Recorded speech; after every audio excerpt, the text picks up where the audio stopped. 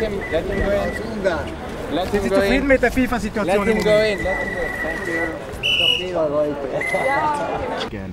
Well, it's up to FIFA, but uh, as, as, as the FIFA president said, uh, there was no uh, misconduct in their file.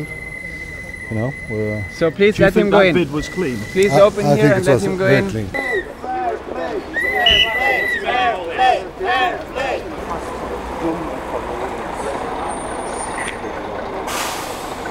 頑張ってください。